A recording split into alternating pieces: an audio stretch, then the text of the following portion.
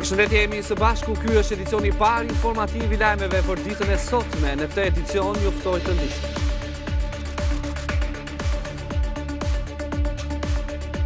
Spak goditi grupin e trafikut të kokainës nga Amerika Latine, droga vinte e fshehur në lëkura të kriposura bagëtish përmes aeroportit dhe portit të Durrësit. Kokaina përpunohej në një laborator në fshatin Qerek nga tre kimistë nga Venezuela dhe Kolumbia, që u arrestuan bashkë me 7 shqiptarë, mes tyre dhe financuesit.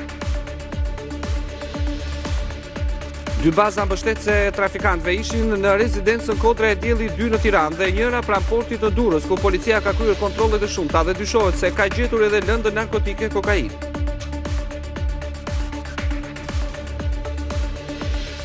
Kryeministri i vendit Edi Rama tha se qeveria po punon për të përgatitur një platformë për emigrantët shqiptarë në mënyrë që t'i njohë në kohë reale në vendet ku jetojnë me mundësitë e tregut të punës në Shqipëri, kryesisht në ndërtim dhe turizëm me paga konkurruese.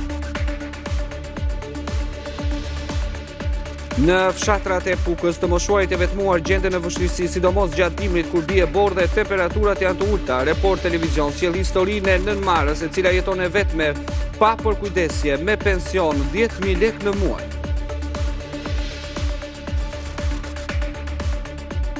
Dy raketa ranë në oborrin e rezidencës së kryeministrit izraelit Benjamin Netanyahu. Policia dhe sigurimi i brendshëm thanë se ngjarja shënon një përshkallëzim të rrezikshëm. Në momentin e sulmit, kryeministri Netanyahu dhe familja e tij nuk ishin në shtëpi.